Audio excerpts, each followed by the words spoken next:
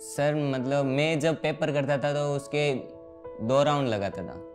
First round में वही करता जो मतलब इजीली देखने से हो जाता है। अगर थोड़ा सा भी ऐसे डाउट होता ना तो उसको राउंड मार्क कर देता मैं।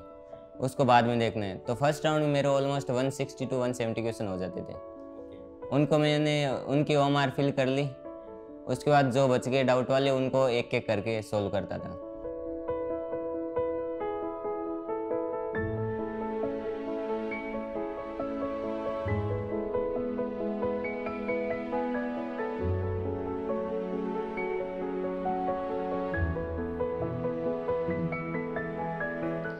Everyone, welcome to Camille TV Toppers, an initiative by Unacademy. My name is Pranav Pundarik and I'm an educator of biology on Unacademy.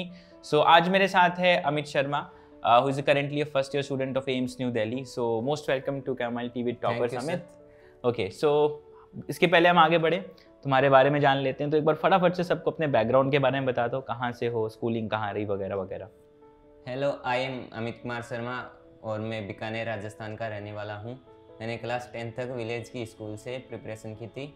उसके बाद मैंने नीट की प्रिपरेशन करने के लिए सीकर चला गया था इलेवंथ और ट्वेल्थ फाउंडेशन की थी मैंने वहाँ से। Okay that's really great so NEET में तुम्हारा स्कोर रहा 700 ऑन 720 हाँ, राइट ओके सो यार ये मोटिवेशन कहाँ से आया कि ये डॉक्टर ही बनना है मेडिकल लाइन में ही जाना है नीट ही क्रैक करना है? एक्चुअली में सर बचपन से तो कुछ ऐसा था नहीं लेकिन हम्म। ऐसे था कि मतलब लाइफ को सेटल करना है कैसे करें? हम्म हम्म। ये भी मतलब जब पिताजी कहते थे कुछ बार तो मन में था। और Okay. उसके बाद मेरे भैया के एक दोस्त थे वो एमबीबीएस कर रहे थे। हम्म तो उनसे मिला मैं। उन्होंने काफ़ी चीज़ें बताई मुझे मेडिकल फ़ील्ड के बारे में। ओके और मुझे अच्छी भी लगी वो। और साथ ही में काफ़ी इन्फ्लुएंस हो जाता था टीवी शोज़ से। उनमें ऐसे डॉक्टर का रोल होता था कहीं ना कहीं। हम्म। उनको देख के लगता था कि डॉक्टर एक सही फ़ील्ड है और okay. ये लाइफ सेविंग फ़ील्ड है। बिल्कुल बिल्कुल बहुत अच्छी बात है। Also if I am not wrong तुम्हारा ऑल इंडिया रैंक वन भी रहा किशोर वैज्ञानिक प्रोत्साहन योजना में। Yes, sir. बिल्कुल से। सो so, इसके बारे में काफ़ी सारे लोगों को पता नहीं होता तो before we get into the NEET preparation part so हम थोड़ा सा के वी के बारे में बात करते हैं। सो so, जिन्हें नहीं आइडिया है के वी वाई एग्ज़ाम इस किशोर वैज्ञानिक प्रोत्साहन योजना जो बेसिकली स्कॉलरशिप uh, के लिए होती है जो भी बच्चे रिसर्च लाइन में जाना चाहते हैं जो बेसिक साइंसेज में रिसर्च करना चाहते हैं। सो so, वो per month five thousand rupees की गवर्नमेंट स्टाइपेंड देती है। तो इस एग्ज़ाम के बारे में थोड़ा और जानते हैं। He secure all India rank one so please tell us the details about the exam क्या कैसा रहता है बिल्कुल। के का exam Indian Institute of Science and Department of Technology and Science के कोलेबोरेशन से हम्म, हेल्ड किया जाता है। इसका पैटर्न रहता है स्पेसिफिक जो कि आपको अंडरलाइन किया जाएगा फॉरम में आएगा। हम्म, और उसी के साथ इसका जो मतलब कितने क्वेश्चन आते हैं कितने मार्क्स का होता है वो भी उसमें दिया हुआ होता है। हम्म, हम्म, और साथ ही इसकी अगर आपको प्रिपरेशन करनी है तो उसके लिए आप प्रीवियस ईयर के क्वेश्चन कर सकते हो साथ में मॉक टेस्ट दे सकते हो। हम्म, और मैंने तो एज ए मिनी नीट मान के दिया था इसको ताकि हम्म। पता चल सके कि नेशनल लेवल एग्ज़ाम में मेरी क्या लेवल है सो अमित ने बेसिकली एग्ज़ाम दिया कि चलो एक बार नीट के पहले एक बार स्टेटस चेक हो जाए कि हम ऑल इंडिया लेवल पर कहाँ स्टैंड करने हैं। जहाँ तक पेपर फॉर्मेट की बात है बेसिकली तीन स्ट्रीम्स में है एस ए एस एक्स और एस बी राइट और एस बी का एग्ज़ाम तुमने दिया था that people can attend after twelfth है ना? So Yes, sir. बहुत अच्छी अपॉर्चुनिटी है बेसिकली जो इलेवन ट्वेल्थ uh, के साथ आगे जा करके रिसर्च करना चाहते हैं ना उनको इनक्रेज करने के हाँ, लिए। लेकिन नीट एस्पिरेंट्स भी बिल्कुल दे सकते हैं अ, जो अपना स्टेटस चेक करना चाहें। हाँ अच्छा और बाकी अगर मैं लेवल ऑफ़ एग्ज़ाम की बात करूँ या अगर मैं हाँ। सजेस्ट करने की बात करूँ कि नीट एस्पिरेंट्स को देना चाहिए नहीं देना चाहिए कि अलग से पढ़ के देना चाहिए किसी को इंटरेस्ट है। तो इसके बारे में वैसे तो फ्लो में नीट की तैयारी करते जाओ थोड़ा कोचिंग का लेवल होता है वो मेन नीट के एग्ज़ाम से थोड़ा हाई होता है। हम्म, हम्म, तो उस हिसाब से कर सकते हैं। बाकी के पे एग्ज़ाम जब आप फॉर्म फिल करते हो उसके बाद थोड़ी थोड़ी स्टडी कर सकते हो। हम्म, हम्म, और उसी के साथ उसका मतलब क्रिटिकल थिंकिंग बेस्ड क्वेश्चन होते हैं। साथ में कंसेप्ट बेस्ड होते हैं तो उनके अलग से प्रिपरेशन कर सकते हो। अच्छा इसके सिलेबस में मैं देख रहा था physics chemistry mathematics syllabus mostly tenth eleventh और ट्वेल्थ की सब्जेक्ट से आता है। इसकी मतलब वैसे मेन चार सब्जेक्ट होती है। Mathematics physics chemistry biology okay हाँ। तो सारे कंपलसरी रहते हैं जब अटेम्प्ट करते हैं? हाँ अगर आप एन को ढंग से कर लेते हो कवर और प्रीवियस ईयर क्वेश्चन कर लेते हो तो आसानी से आप हंड्रेड में से एट्टी नाइन्टी टू मतलब स्कोर कर सकते हो। Okay that that's really great and congratulation on such a great achievement अब आते हैं हम लोग नीट के ऊपर है ना? सो यार नीट की बात करते हैं तो पहली बात टेंथ के बाद एलेवेंथ में आने के बाद तुम्हारा सब्जेक्ट कॉम्बिनेशन क्या रहा? P C M B P C B की क्या कॉम्बिनेशन था सब्जेक्ट का? मैथ्स बायो दोनों थी कि सिर्फ़ बायो थी? बायो थी सर ओके। okay. मेरा मैथ्स में तो मतलब पहले से इंटरेस्ट था लेकिन मेरे बड़े भाई उन्होंने मैथमेटिक्स ले रखी थी तो मेरा था कि थोड़ा अलग करते हैं बायोलॉजी ले। अच्छा चलो ये भी साइंस भी अच्छी थी मेरी स्ट्रॉन्ग थी। हम्म, तो हम्म, मतलब इंटरेस्ट दोनों में था और बायोलॉजिकल वर्ड के बारे में जानने में मेरे पहले से भी काफ़ी था। मैं जिक के भी काफ़ी पढ़ता था उसके लिए। अच्छा। ओके तो मतलब इंटरेस्ट डेवलप करते गए तो तुमने चूज़ करा। ठीक है ग्रेट अच्छा अब लगी। तुम्हारा बोर्ड क्या रहा? सीबीएसई की स्टेट बोर्ड था? मेरा स्टेट बोर्ड था आरबीएससी आरबीएसई अच्छा ठीक है। तो ये स्टेट बोर्ड के साथ साथ नीट की तैयारी में कोई स्पेसिफिक इशू आया कि चल लगभग सिलेबस सेम ही है? सर मतलब पीसीबी फिजिक्स केमिस्ट्री बायोलॉजी के लिए हम्म, तो अगर नीट का सिलेबस कवर कर लेते हो तो वो काम चल जाएगा हम्म, उसमें। बस लिखने की प्रैक्टिस करनी होती है वो लास्ट वाले एक महीने में हो जाता है। और बाकी जहाँ पर आप प्रिपरेशन कर रहे हो या फिर अलग से आप ज्वाइन कर सकते हो इंग्लिश और हिंदी क्लासेज लास्ट वाले टाइम में। हम्म हम्म हम्म। जब भी आपको थोड़ा ऐसे बोरिंग फील हो पीसीबी में तो आप हिंदी इंग्लिश को पढ़ सकते हो इंटरेस्ट से। ओके और बाकी ज़्यादा टेंशन लेने की ज़रूरत नहीं आसानी से कवर हो जाता है। उसमें मतलब पास होने की ज़रूरत होती है अगर आपका मेन एम नीट है तो। और पास आप हो जाते हो लास्ट वाले पंद्रह दिनों में पढ़ाई करके। तो मतलब मेन पास हो लें बड़ा कूल अप्रोच है इसको लेके। हाँ, हाँ, हाँ। काफ़ी बच्चे बोर्ड एग्ज़ाम को लेके ज़्यादा परेशान रहते हैं। और इनफैक्ट एक मिसकनसेप्शन सा भी है कि स्टेट बोर्ड के साथ उतना अच्छा नीट करना बड़ा मुश्किल है। है ना? लेकिन ऐसा है नहीं मेरे हिसाब से। नहीं सर अभी तो एन कर दी है स्टेट बोर्ड में भी तो एकदम हम्म, इजी हो गया ओके दैट्स रियली ग्रेट तो अब हम आते हैं थोड़ा सब्जेक्ट वाइज अप्रोच के ऊपर है ना? एक एक सब्जेक्ट पर चलते हैं। तो एक सब्जेक्ट पे एक डिटेल्ड गाइडेंस हो जाए सबके लिए। तो बायोलॉजी से स्टार्ट करते हैं। सो क्या अप्रोच रहा तुम्हारा बायोलॉजी में? कैसे किया कैसे हैंडल किया तुमने रट्टा मारने वाले पार्ट को कंसेप्चुअल पार्ट को? What was your approach initially sir biology में नोट्स पढ़ता था और साथ में जो कोचिंग मॉड्यूल होता है वो पढ़ता था। तो उसमें कुछ थ्योरी बेस्ड होते थे और कुछ रट्टा मारने वाले होते थे। तो फैक्ट को शुरुआत में तो एक बार सिलेबस पढ़ते हैं तो सारा कुछ कवर करते हैं बस समझने वाली चीज़ों को समझ लेते हैं और फिर एग्ज़ाम देने से पहले जो फैक्ट होते हैं उनको एक बार वापस देख लेते हैं। ओके और जैसे मतलब ट्रांजिशन होता है इलेवन टू ट्वेल्थ फिर एन को फोकस करने लग जाते हैं क्योंकि एग्ज़ाम जैसे जैसे करीब आता है तो एन पर इम्पोर्टेंस ज़्यादा देने लग जाती है। बिल्कुल। ये और- तुमने एक चीज़ बताई जो कि जैसे मान लो इलेवन से ट्वेल्थ में एनसीईआरटी पे ज़्यादा फोकस करते हैं इसका मतलब टेंथ से इलेवंथ में जाने के बाद थोड़ा सा वो होता है ना कि चलो पढ़ना शुरू कर रहे हैं तो हाँ, बहुत डिटेल में पढ़ने लगे हाँ हैं। हाँ। चार पाँच पाँच किताबें फॉलो कर लेते तो क्या तुम्हारे साथ भी ये हुआ था? नहीं सर मैंने किताबें तो फॉलो नहीं की थी लेकिन जोश था तो मैं मॉड्यूल पढ़ता था ऐसे दो तीन बार और अच्छा। क्वेश्चन भी उसके लगाता था। तो ये कब तक चला मॉड्यूल वाला सिलसिला और कब एनसीईआरटी शिफ्टिंग हुई? और मतलब कोई रियलाइजेशन फ़ेज़ आता है ना इसमें? एक सर मतलब मैंने पहला नीट का एग्ज़ाम देखा था 2018 का। हम्म, उसमें कुछ क्वेश्चन ऐसे थे जो आउट ऑफ़ एनसीईआरटी थे। हम्म, तो उस टाइम मेरा ये था कि थोड़ा आउट ऑफ़ एनसीईआरटी भी जो नोट्स में आ जाती है हम्म, चीज़ें या फिर प्रीवियस ईयर के क्वेश्चन की थिंग्स है उनको देख लेता था। और फिर 19 वाला एग्ज़ाम देखा उसके बाद सोचा कि अब तो एनसीईआरटी से ही पढ़ते हैं। अच्छा उसके बाद फ़ायदे में रहेगा। हम्म, क्योंकि ज़्यादा ओवरलोड होता है तो वो कंबाइन नहीं कर पाती चीज़ों को ढंग से माइंड में। बिल्कुल बिल्कुल। तो इसके बाद तुम्हारा मेन अप्रोच रहा मेन बुक्स में सिर्फ़ एनसीईआरटी फॉलो कर रहे थे? ठीक है और प्रैक्टिस के लिए क्या क्या करते थे बायोलॉजी में? प्रैक्टिस के लिए एक तो मॉक टेस्ट होते थे वो। अच्छा। टॉपिक हाँ। Specific okay. वो कर लेता था। हम्म, और साथ में एक दो बुक लगाता था ऐसे मतलब जो फ्रेंड्स होते थे तो वो कभी क्वेश्चन डाउट पूछते तो तब बुक लगा लेता था उनसे लेकर अच्छा दोस्तों के डाउट हाँ, बताते मैं हॉस्टल में रहता था वैसे। अच्छा अच्छा। हॉस्टलर था। अच्छा ओके ग्रेट ठीक है तो बायोलॉजी को लेके ये अप्रोच रहा। अब अगर आते हैं हम लोग केमिस्ट्री के ऊपर ठीक है तो केमिस्ट्री में स्प्लिट कर लेते हैं इनऑर्गेनिक ऑर्गेनिक फ़िज़िकल तो फ़िज़िकल में अ, कैसे पढ़ते थे कौन सी बुक्स फॉलो करते थे? इन सब्जेक्ट्स के दो पॉइंट होते हैं एक तो फैक्ट का होता है और एक कंसेप्ट बेस्ड होता बिल्कुल। है हम्म, तो पहले स्ट्रॉन्ग करना होता है कंसेप्ट को। हम्म, हम्म, फैक्ट तो बस वो तो रिवीजन मांगते हैं। हम्म, कंसेप्ट को जब सर क्लास में बताते थे तो उनको मैं ढंग से देख लेता था एकदम हम्म। ताकि समझ आ जाए मेरे। अगर नहीं आता था तो उसी दिन डाउट में पूछ लेता था। अच्छा। तो उससे कंसेप्ट स्ट्रांग हो जाते हैं। हम्म, फिर बात आती है फैक्ट वाले में। तो उसके लिए अलग से अपन कॉपी में नोट कर सकते हैं उनको बार बार रिवीजन वाले टाइम कर सकते हैं तो यार ये फैक्ट्स को याद रखना लगभग सभी लोग ये प्रॉब्लम फेस करते हैं तो कोई कोई तुम्हारी हाँ। कोई। खास स्ट्रैटेजी हो अगर जिससे लोगों की हेल्प हो पाए सर मतलब ट्रिक बना सकते हो आप काफ़ी चीज़ों में तो यार ये फैक्ट्स को लेकर के बातें तो हमेशा होती रहती हैं, याद कैसे करें वगैरह वगैरह कोई ऐसा सोल्यूशन है तुम्हारे पास कि थोड़ा चीज़ें और आसान हो जाएँ, याद हो जाएँ और जल्दी जल्दी इसके लिए आप ट्रिक्स बना सकते हो, जैसे पीरियोडिक टेबल को याद करते हैं तो एस ब्लॉक के फ़र्स्ट ग्रुप को ऐसे है लीना की रब से फरियाद hydrogen lithium sodium potassium. Medium caesium and friends okay तो मतलब हो है। ट्रिक्स ट्रिक्स तुमने खुद बना रहे थे बैठ करके कि फॉलो अप कर रहे थे? ऑलमोस्ट मैंने खुद नहीं बनाई थी लेकिन कुछ कॉमन होती है वो मेंटर्स बता देते हैं फैकल्टीज बता देते हैं। हाँ हाँ वो हेलिना वाली तो बहुत कौन सा बेटा मांगे कार जो चलता हाँ, रहता है हाँ, बिल्कुल बिल्कुल बिल्कुल। Have you not figured out how to study biology for the pre-medical exams? Well, I have been there in that place, but come out of it to realize that you can enjoy the subject too. And I can show you how you can do the same. Understand the fundamentals and become a master in biology. Over the course of one and a half years, I have helped over 100 students clear the pre-medical exams. Learn with me and you will be able to score 340 plus in biology. I am Pranav Pundarik and I teach live for pre-medical exams on an Academy Plus. Okay so हम थे chemistry के ऊपर सो जरा आते हैं वापस है ना मुद्दे पर आते हैं तो अगर मैं यार स्प्लिट अप करना शुरू करूँ वापस आते हैं इनऑर्गेनिक ऑर्गेनिक फ़िज़िकल पे तो अगर हंड्रेड में हम स्प्लिट करें फ़िज़िकल केमिस्ट्री को थियोरी वर्सेस प्रैक्टिस किसको कितना टाइम दिया तुमने?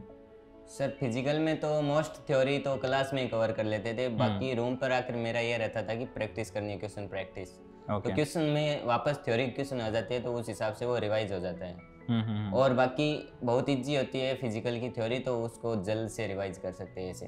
ठीक है प्रैक्टिस के लिए हम्म। कोई स्पेसिफिक बुक फॉलो कर रहे थे?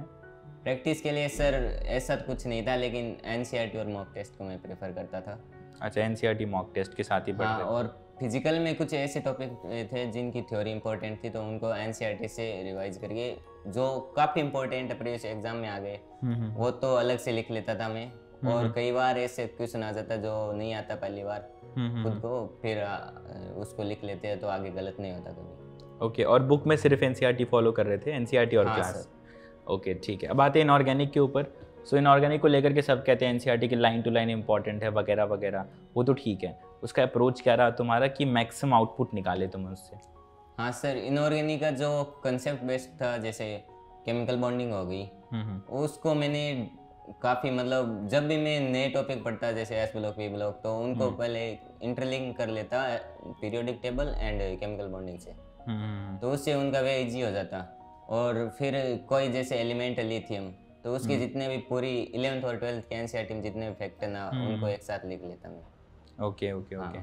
तो फैक्ट्स को नोट डाउन ओके हाँ पीरियोडिक टेबल से और केमिकल बॉन्डिंग से सारी इनऑर्गेनिक को लिंक कर लेता अच्छा लिंक करके तुमने पढ़ाई करी हाँ। और इसमें अगर मैं फिर से वही स्प्लिट करूँ कि थियोरी वर्सेस प्रैक्टिस तो क्या रहा अप्रोच सर इनऑर्गेनिक में तो थ्योरी होती है उसके अलावा फैक्ट्स होते हैं फैक्ट्स को याद करना होता है और थ्योरी को समझना होता है तो उसके लिए क्वेश्चन हम्म। प्रैक्टिस करनी होती है जैसे ई ए कैलकुलेट करना इलेक्ट्रोनेगेटिविटी हाँ, हाँ, कैलकुलेट हाँ। करना उसके फॉर्मूले होते हैं तो उनको देख लेना चाहिए।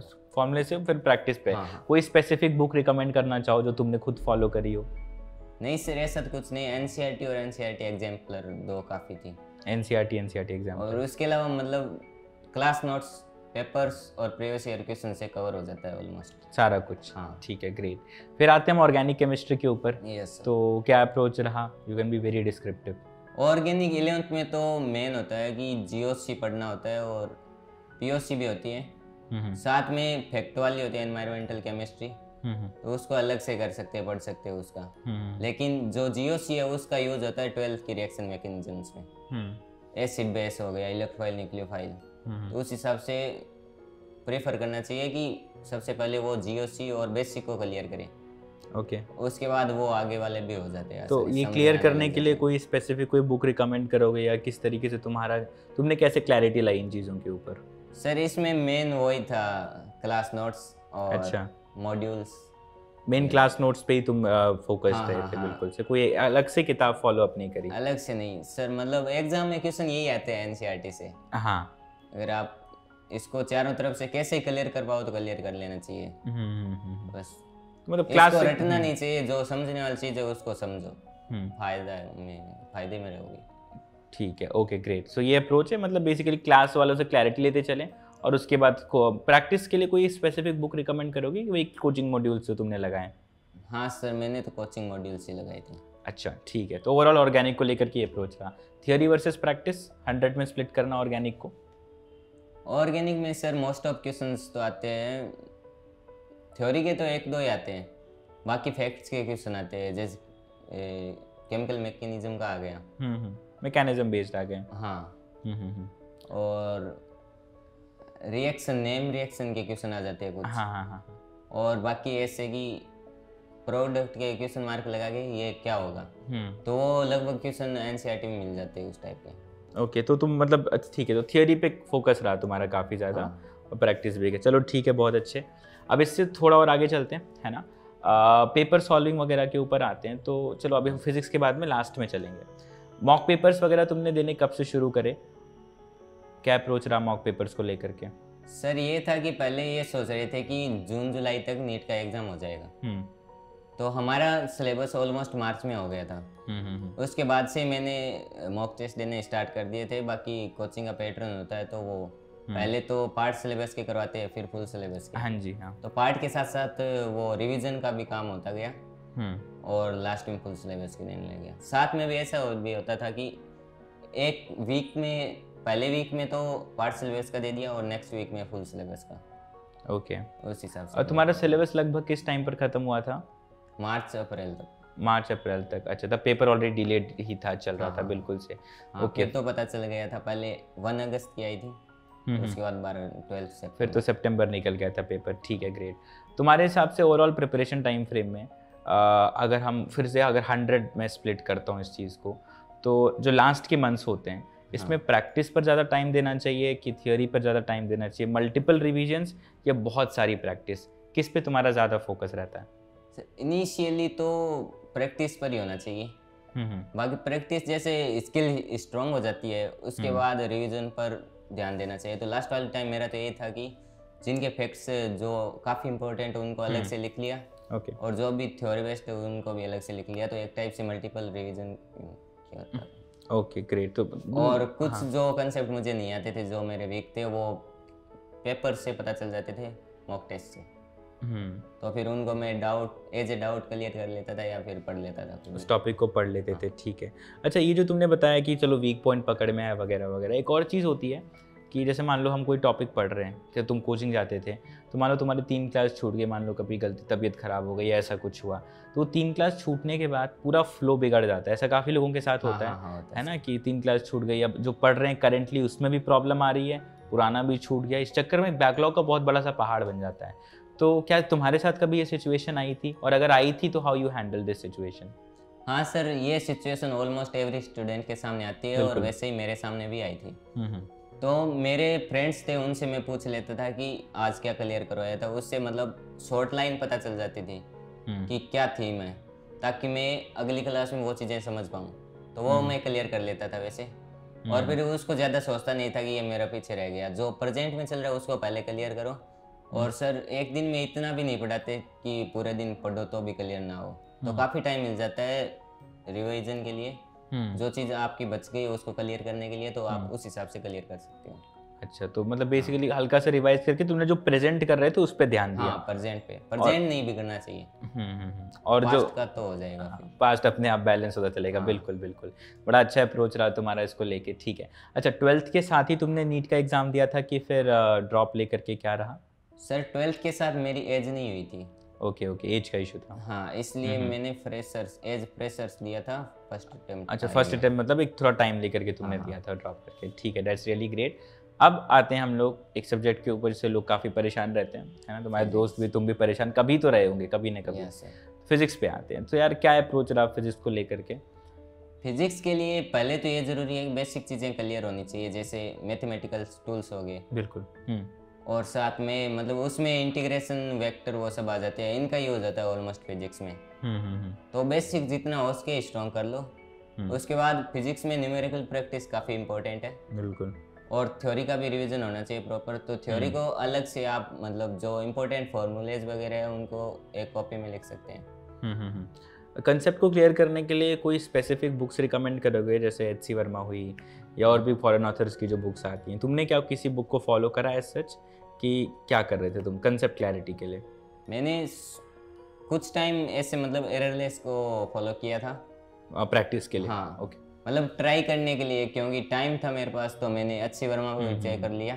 लेकिन अगर आपके पास टाइम नहीं है तो आप क्लास नोट्स करो पेपर्स प्रीवियस ईयर क्वेश्चंस और एनसीईआरटी के भी प्रत्येक क्वेश्चन को ट्राई कर लो। देख लो कि किस हिसाब से क्या कॉन्सेप्ट है इसका सोल्व करने का। Okay okay. हाँ। और ये तो चलो प्रैक्टिस वाली बात हुई। थियोरी पढ़ने का क्या रहता था? क्लास पे ही डिपेंडेंट थे कि खुद से भी पढ़ते थे थियोरी हाँ सर थ्योरी कभी कभी मतलब एनसीईआरटी से भी पढ़ता था मैं।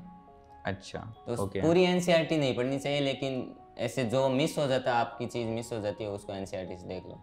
ओके ग्रेट ग्रेट तो मतलब एन पे रिलाई कर रहे थे और क्लास से समझ रहे हाँ। थे और कुछ बुक्स तुमने ट्राई करी प्रैक्टिस के लिए। हाँ। बाकी ओवरऑल फिजिक्स में अगर मैं टाइम स्प्लिट की बात करता हूँ तो थियोरी प्रैक्टिस किसको ज़्यादा समय दिया तुमने? सर मोस्टली थ्योरी तो क्लास से। क्लियर करता था मैं। बिल्कुल। और प्रैक्टिस के लिए बाकी टाइम देता था। अच्छा। तो ऑलमोस्ट 85 परसेंट टाइम मैं प्रैक्टिस के लिए देता फिजिक्स में ये बहुत ज़रूरी बात हाँ। है हाँ हाँ। और लोग भी काफ़ी लोग इस पे परेशान रहते हैं कि अगर करने की स्पीड। बूस्ट अप करने के लिए ये ज़रूरी है। हाँ और ये प्रॉब्लम भी रहती है कि न्यूमेरिकल्स करने बैठे से होता है ऐसे कि न्यूमेरिकल्स करने बैठे बना रहे बना रहे बन ही नहीं रहा क्वेश्चन ठीक है? लाइन से तीन क्वेश्चन नहीं बने। अब तुमने पूरी थियोरी पढ़ी हो मान लो एक दिन अगले दिन क्वेश्चन नहीं बन रहे। कभी ऐसा फेस किया सिचुएशन तुमने? फिजिक्स में। सर शुरुआत में होता था तो मैं अपने फैकल्टी से डाउट पूछने जाता था तब वो उनका क्या तरीका अप्रोच रहती थी हम्म, उस अप्रोच को मैं देखता था। हम्म, और फिर वैसी अप्रोच के क्वेश्चन ढूंढता था उनको सॉल्व करता था। तो एक टाइप Okay. से वो हैबिट में आ जाता था कि इसको इस टाइप से करना है। ओके सो यार अब आते हैं फिजिक्स में न्यूमेरिकल्स को लेकर के अप्रोच पर बिकॉज़ काफ़ी बार क्या होता है ना कि हमने मान लो आज मैंने पूरी थियोरी पढ़ी ठीक है? और मैं हाँ। शाम में बैठा क्वेश्चंस लगाने और लाइन से मेरे तीन क्वेश्चन बन ही नहीं रहे यार बीच में कहीं अटक गया थ्योरी सब पढ़ लिए फॉर्मूले रट लिए समझ लिए सब हो गया लेकिन नहीं बन रहा। क्या ऐसा सिचुएशन तुमने कभी फेस किया? ये सर इनिशियली होता था बट मैं उस टाइम डाउट पूछने जाता था फैकल्टी के पास।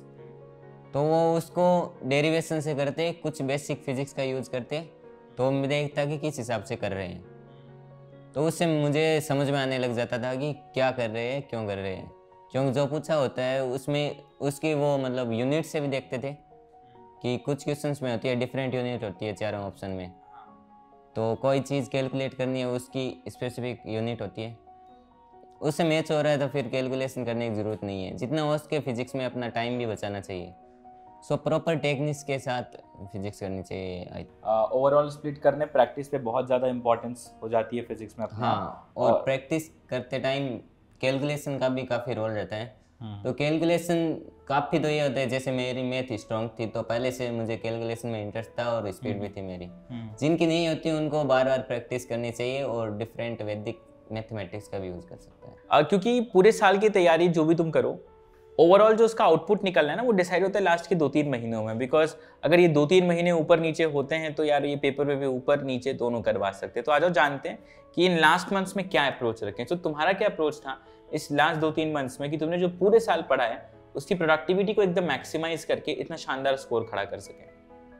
सर, मैंने तो लास्ट वाले टू थ्री मंथ्स में पहले तो हर एक टॉपिक को मतलब ढंग से कल पढ़ा था उसको। और उसके बाद उसके मॉक टेस्ट होते हैं टॉपिक स्पेसिफिक वो भी दिए थे। और साथ ही साथ मेरी कंटिन्यूटी थी शुरू से ही कि मतलब पढ़ना है ढंग से। मतलब ओके okay, तो ये रिवीजन को लेके क्या अप्रोच रहा था लास्ट टाइम फ्रेम में कि रिवीजन क्योंकि क्या होता है बहुत बड़ा सिलेबस हाँ, रिवाइज हाँ, करना। होता है। क्या अप्रोच रहता था उसको लेकर के? उनके लिए मैंने शुरू से ही शॉर्ट नोट्स बना रखे थे तो अच्छा। उनको भी साथ साथ में क्लियर कर रहा था। तो आप शॉर्ट हम्म। नोट्स बना सकते हो एनसीईआरटी के। कोई खास टिप्स शॉर्ट नोट्स को बनाने को लेकर के कि कैसे बनाए जाए हाँ मैक्स कुछ क्वेश्चन होते हैं जो सबको आते हैं मोस्ट कॉमन तो उनको तो उनमें लिखने की ज़रूरत नहीं होती। खुद के जो वीक टॉपिक है जो मतलब गलत हो गए उनको लिख सकते हो आप। ताकि आगे कभी वो गलत ना हो। मेन अपना टारगेट है मेन एग्ज़ाम में अच्छा स्कोर करना। बिल्कुल। तो उससे पहले जितना हो सके सीख लो आप। और ज़्यादा डिटेल में पढ़ने की ज़रूरत नहीं है। सुपरफिशियली भी कर सकते हो लास्ट में आप। लास्ट में सुपरफिशियल हाँ। रिवीजन कर लें और प्रैक्टिस पे ध्यान दे लें। हाँ। अच्छा तो लास्ट मंथ में प्रैक्टिस पर आते हैं। लगभग कितने मॉक पेपर्स तुमने अटेम्प्ट किए होंगे? सर लास्ट वाले टू थ्री मंथ्स में ऑलमोस्ट मैंने सौ के लगभग अटेम्प्ट कर लिए थे। सौ के आसपास मॉक हाँ, पेपर्स किए कभी कभी तो एक दिन में भी दो दो टेस्ट दिए थे। अच्छा। हाँ। तो ये जो मॉक पेपर्स दे रहे थे प्रॉपर नीट वाले माहौल में लाइक ऑन ओएमआर की ऐसे कैजुअली भी दे रहे थे पेपर्स ऑन मतलब सर टू टू फाइव एक एकदम नीट के जैसे सेम एग्ज़ाम मान के देता था मैं। अच्छा टू से फाइव प्रॉपर दिया हाँ। करते थे ठीक है। दिया था। अच्छा तो ये मॉक पेपर्स चलो तुमने अटेम्प्ट किए लेकिन मेरा ये मानना है कि मॉक पेपर देने से ज़्यादा ज़रूरी होता है उसके बाद करा जाने वाला उसका एनालिसिस तो एनालिसिस को लेकर के तुम्हारा क्या अप्रोच रहता था? और काफ़ी बार ये भी होता है ना कि जैसे मान लो तीन घंटे का हमने पेपर दिया कभी कभी पाँच घंटे लग जाते हैं उसके एनालिसिस में। क्योंकि मान लो तुमने एक टॉपिक का क्वेश्चन हाँ, देखा सर। उसमें लगा वीक है चलो उसको थोड़ा रिवाइज कर लिए पढ़े तो एनालिसिस में ये सब इंक्लूड होता है ना। तो क्या अप्रोच रहता था? How you manage time because मुझे तो लगता है तुम डेली एक मॉक दे रहे होगे अगर सौ मॉक तुमने हाँ, दिए हैं हाँ, तो। है ना? तो क्या अप्रोच था बताओ? सर मतलब मैं जब पेपर करता था तो उसके दो राउंड लगाता था। फ़र्स्ट राउंड में वही करता जो मतलब इजीली देखने से हो जाता है। अगर थोड़ा सा भी ऐसे डाउट होता ना तो उसको राउंड मार्क कर देता मैं। हम्म। उसको बाद में देखना है। तो फ़र्स्ट राउंड में मेरे ऑलमोस्ट 160 टू 170 क्वेश्चन हो जाते थे। ओके। उनको मैंने उनकी ओ आर फिल कर ली। हम्म। उसके बाद जो बच गए डाउट वाले उनको एक एक करके सोल्व करता था। ठीक है। तो मेरा इसमें पैटर्न भी यही रहता था। पहले बायोलॉजी फिर केमिस्ट्री और फिर फिजिक्स मोस्ट प्रोबेबली ओके। ये तो तुमने एग्ज़ाम को देख करके मैंने कहा उसकी बात के एनालिसिस को लेकर के अगर मैं आऊँ तो एनालिसिस कैसे किया करते थे? एनालिसिस में सर जो क्वेश्चन राउंड मार्क किए थे मैंने हम्म हम्म। उनको ढंग से देखता उनका मतलब डिटेल में उनका डिस्कशन करता। हम्म। कुछ अपने साथ वाले से पूछता कुछ फैकल्टी से पूछता। और कुछ कुछ क्वेश्चन ऐसे होते हैं जो कि ऐसे उस टाइम अपन सोचते हैं कुछ और सोच के सही हो जाते हैं लेकिन रियल में उनका कॉन्सेप्ट कुछ अलग ही होता है। हाँ। तो एक टाइप से हर क्वेश्चन का एक बार तो मैं देख लेता था। हर क्वेश्चन एक बार गो थ्रू करना हाँ। चाहिए कई बार ये भी होता है दो ऑप्शन में कंफ्यूज है एक रैंडमली लगा है सही हो हाँ, गया। हाँ, सही हो गया। तो है ना? वो सबसे ज़्यादा गलत होने के चांस वाला क्वेश्चन होता है। क्योंकि वो क्या बता जस्ट अगले पेपर में देते हैं तो ऐसे कंफ्यूजन हो जाता है कि ये टिकता है ये था। हाँ तो बिल्कुल उसके लिए ज़रूरी है वो। इसलिए हर एक क्वेश्चन को गो थ्रू करना हाँ। बहुत ज़रूरी है बिल्कुल। अच्छा एक और चीज़ रहता है कि हम मॉक पेपर्स देते हैं। काफ़ी बार होता है कि हम क्वेश्चन पढ़ नॉट हमने नहीं पढ़ा। How many of the following are correct को इनकरेक्ट पढ़ लिए? काफ़ी बार होता है ऐसा। Silly mistakes. How you manage to avoid all of that कैसे तुम सर सिली मिस्टेक जितना आप प्रैक्टिस करोगे उतनी रिड्यूस कर सकते हो। बिल्कुल। तो मेरा ये रहता था कि शुरुआत में काफ़ी सिली मिस्टेक्स होती थी लेकिन धीरे धीरे वो टेस्ट पेपर से इम्प्रूव होती गई। कुछ फैकल्टीज बता देते हैं कि ये चीज़ें यहाँ पर ये ध्यान देने लायक होती है ये होती है तो उनको अलग से माइंड में रखता था मैं। जैसे फॉर एग्ज़ाम्पल जैसे सर जैसा आपने बताया नोट वाला ये भी हो गया। और कुछ में होता है कि पूछा कुछ और होता है ऐसे और सोच कुछ और लेते हैं। हाँ। और कुछ कुछ टाइम ऐसे होता है कि अपना कैलकुलेशन में आंसर दो आ रहा है। हम्म। आंसर दो है थर्ड ऑप्शन में। हम्म। और अपन टिक कर देते हैं सेकंड ऑप्शन तो वो भी ध्यान रखना होता है। तो बहुत केयरफुली पेपर को करना हाँ। होता है बिल्कुल से। लेकिन यार ऐसा होता है ना कि चलो हम जब प्रैक्टिस करें तो तुम कोई टेस्ट ही देने जा रहे हो कोचिंग का ही कोई टेस्ट हाँ, देने हाँ। जा रहे हो। तो वहाँ एग्ज़ाम हॉल में तो प्रेशर अलग लेवल का होता है। हाँ सर आजू तो बाजू सभी पेपर दे रहे हैं एक अलग की इसका ज़्यादा सही होगा कितने नंबर आएँगे क्या होगा। उस माहौल में कैसे ये मतलब एक कह दूँ मैं पैनिक मैनेजमेंट अगर मैं कह लूँ तो क्या तुमने भी ऐसा पैनिक होता था और हुआ तो कैसे मैनेज किया तुमने एग्ज़ाम हॉल वाली सिचुएशन में? हाँ सर पहले तो काफ़ी ये था कि हमारा ग्रुप था उसमें काफ़ी हेल्थी कंपटीशन था अच्छा बाकी औरों के बारे में नहीं सोचता था ज़्यादा बस हम्म। खुद की खुद के मार्क्स पर ध्यान देता था घर वाले भी यही कहते थे कि खुद के अच्छे इम्प्रूव होने चाहिए। लास्ट पेपर से अगले पेपर में इम्प्रूव करो। ये ज़रूरी नहीं है कि उससे ज़्यादा आने चाहिए या फिर कुछ। ओके okay, बड़ा अच्छा हाँ। अप्रोच फिर घर से तो काफ़ी फिर सपोर्टिव और फिर लेकिन वो चीज़ें जब कभी काफ़ी हार्ड पेपर आ जाता है तब दूसरों से ऐसे मैच कर लेना चाहिए कि इसके भी कम आ रहे हैं। तो उससे मतलब कंटेनमेंट मिल जाता है थोड़ा हाँ। लेकिन फोकस खुद पर ही करना चाहिए मेनली मतलब थोड़ा टफ पेपर में थोड़ा देख लें हाँ सबके कम आ रहे तो ठंडक मिलती है ना? हाँ, हाँ, एक तरीके से ये अप्रोच ठीक है बहुत ही अच्छा। नीट का एग्ज़ाम तो काफ़ी सिंपल आना है ये ज़्यादा सोचने की बात नहीं है। है ना? हाँ तो सिंपल सा अप्रोच करके आ, बहुत मतलब मिनिमम टाइम मैक्सिमम आउटपुट वाला अप्रोच भी लगा करके आगे हाँ, बढ़ सकते हो बिल्कुल ठीक है। तो ये मॉक पेपर्स की बात हुई उनके एनालिसिस की बात हो गई बिल्कुल से।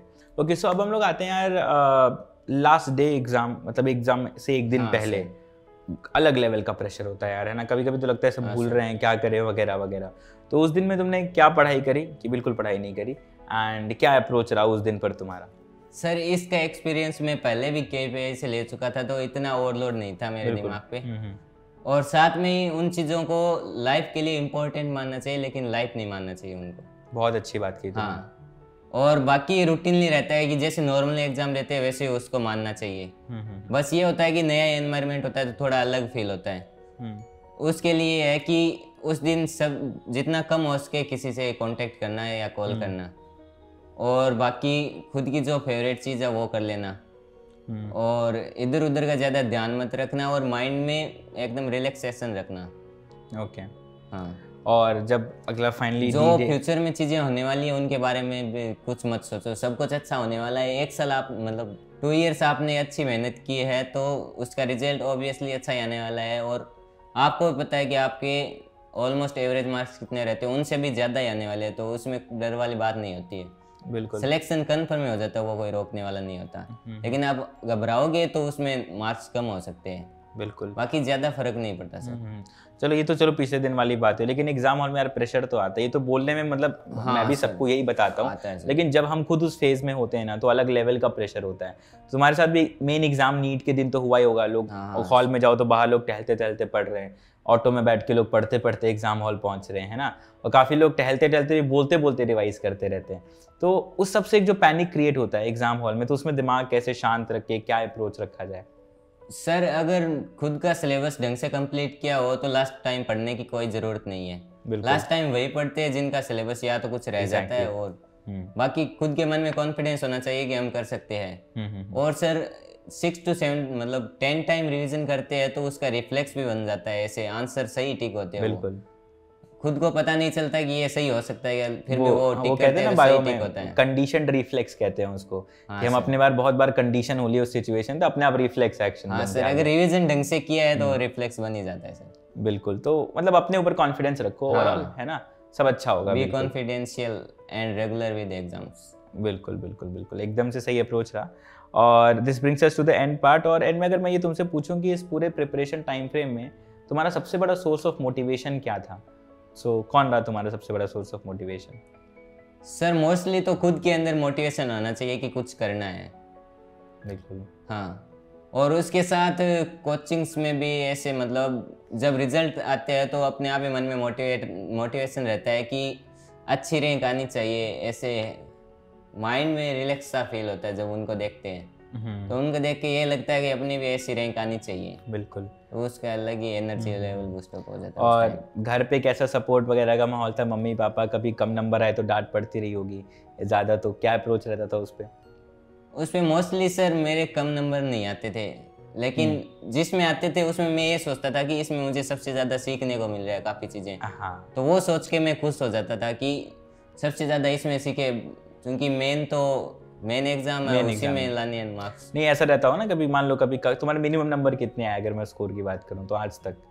हाँ सर मिनिमम मेरे इनिशियली सिक्स फोर्टी इतने रहते थे। अच्छा तो उस टाइम पर जैसे घर वालों ने कुछ बोला हो ऐसा कुछ नहीं हुआ कभी? हाँ घर वालों ने बोला था लेकिन वो ऐसे मतलब फैकल्टीज को बोलते थे कि इसका थोड़ा ध्यान रखना और अच्छा। चलो फिर ये तो बहुत अच्छी बात है and this brings us to one very interesting section of R C T W T that is the rapid fire round जिसमें हम तुमसे बहुत ही फटाफट कुछ बहुत ही शानदार सवाल पूछ रहे होंगे और तुम फटाफट उनका जवाब दे रहे होगे। So let's begin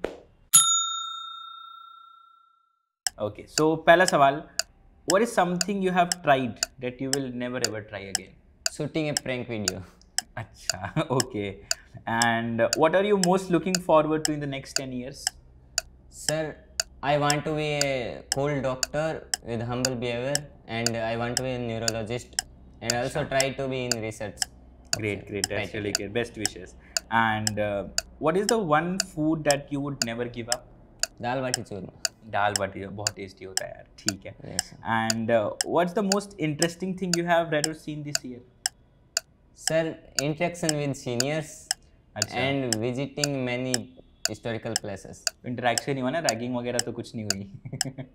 चलो इसको हम यहाँ से आगे नहीं लेते हैं आगे बढ़ेंगे। And what is the stupidest thing you have done on your own free will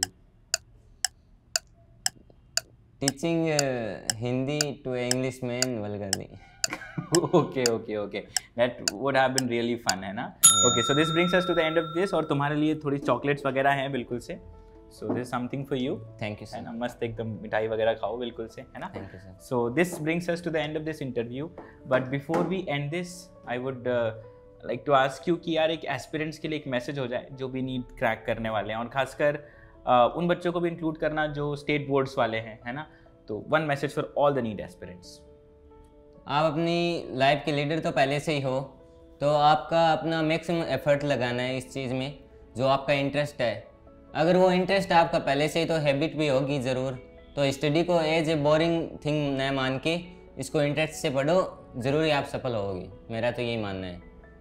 और ज़्यादा स्ट्रेस स्ट्रेस में रहने की ज़रूरत नहीं है। खुद की हॉबीज़ को भी प्रमोट करो क्यों? आगे बहुत काम आती है ये चीज़ें। That was really a great message और यार एक परंपरा भी है हमारे यहाँ पर टाइगर टॉपर की। सुना होगा तुमने। यस सो तुम किसको चाहते हो कि अगला interview C T W T का हम किसके साथ शूट करें? रजत गोयल। रजत गोयल तो तुम्हारा ये बैचमेट है स्कूलमेट है? बैचमेट है sir batch that's really great so I hope कि हम बहुत जल्द उसे यहाँ पर देख रहे होंगे and it was really great and बहुत ही ज़्यादा. क्लैरिटी वाली बातें तुमने बताई हमें. And I sincerely hope every one love this interview and तुम्हें काफ़ी कुछ सीखने को मिला हो. If you have any feedbacks any suggestions और if you have anything that you guys want to ask the toppers do let us know down in the comment section. Video को ज़रूर से लाइक कर देना सब तक पहुँचा देना so that every one knows these secrets है ना? सीक्रेट से सब तक फैला दो बिल्कुल। And so that will be all subscribe कर लेना याद से। Thank you so much for listening let's crack it